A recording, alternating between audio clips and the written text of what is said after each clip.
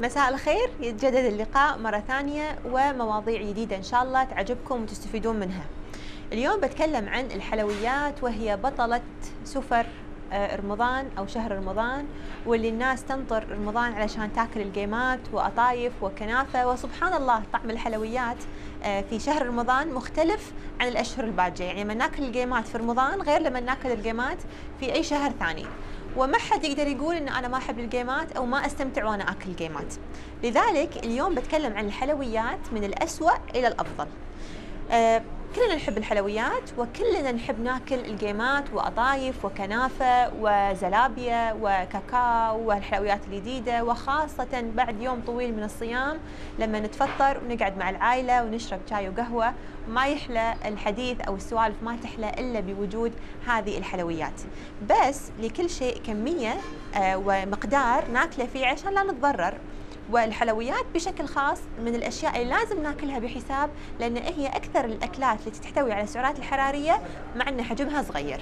يعني مثلا من أسوأ أنواع الحلويات في شهر رمضان هي اللقيمات.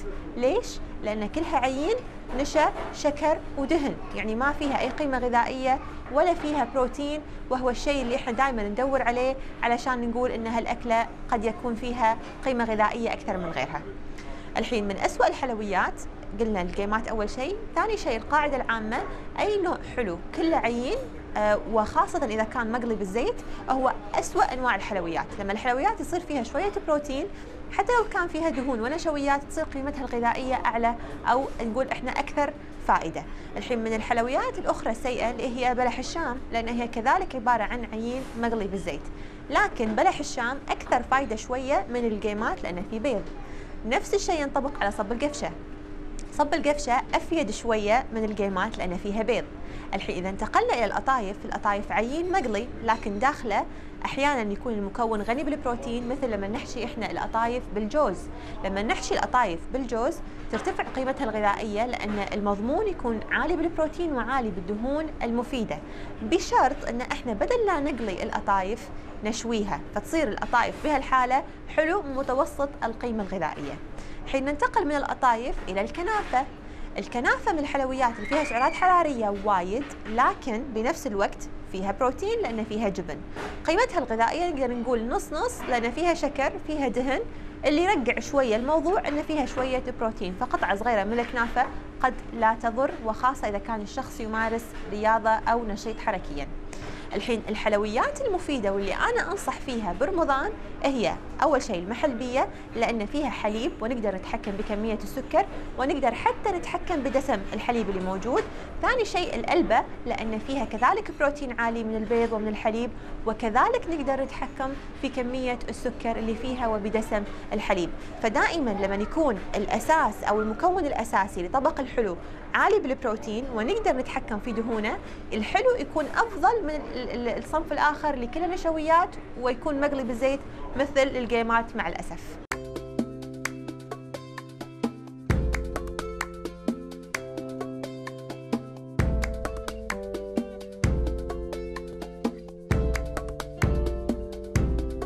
الحبوب من أكثر الأشياء اللي نستخدمها في شهر رمضان لأن هي الطبق الرئيسي أو هي مكون الطبق الرئيسي اللي يكون على سفرة الفطور. يعني نلاقي أن اليريش والهريس أو العيش آه، أو حتى الكنوة من الحبوب اللي تكون موجودة على سفرتنا. لذلك أنا خصصت فقرة اليوم علشان نتكلم عن نوع مهم من الحبوب اللي خذ المركز الأول في عام 2013 على أن أكثر الحبوب فايدة وأقواها وحتى سمي بأحد آه، ال super food أو انضم إلى قائمة ال super food super food يعني الأطعمة الغنية التي تحتوي على كميات كبيرة من المغذيات سواء من معادن أو فيتامينات أو بروتينات أو ألياف. آه، اليوم بتكلم عن الكينوا. طبعا الكينوا من من الحبوب اللي انتشرت مؤخرا في بيئاتنا وفي مجتمعاتنا. يعني إحنا ما كنا ندري عنها. آه، بدينا نستخدمها أو نتناولها أو تكون موجودة في أطباقنا بداية تقريبا من 2013 أو آخر 2012 الكنوة آه، غنية جدا بكثير من المعادن والفيتامينات بالإضافة للألياف والبروتين الشيء اللي خلاها الخيار الأول للناس اللي يدورون الأكل الصحي يعني قمنا نسمع أن الناس يوخرون عن العيش والمعكرونة واليريش والهريس وهذه الأصناف ودائما يلجؤون حق الكنوة كبديل حق العيش آه ليش يلجؤون حق الكنوه البديل من لبديل أو كبديل للعيش؟ لأنه اولا الكنوه أكثر احتواء على الألياف آه شيء ثاني. فيها كمية بروتين أكثر. الشيء الثالث تحتوي على معادن مثل الحديد والفوليك أسيد بكميات كبيرة. طبعا الحديد والفوليك أسيد مهم جدا لتكوين كرية الدم الحمراء وكذلك مهم جدا للناس اللي تسوي رياضة لتغذية العضلة. لكن الكنوة أنواع. إحنا عندنا الحين هني اللون الأبيض والكنوة باللون الأحمر والكنوة باللون الأسود. والمعتقد الشائع إن كل ما الشيء صار لونه أغمج كل ما صار أفيد. آه إلى أي مدى صحيحه هذه المعلومة بالكنوه الحين راح نشوف مع بعض.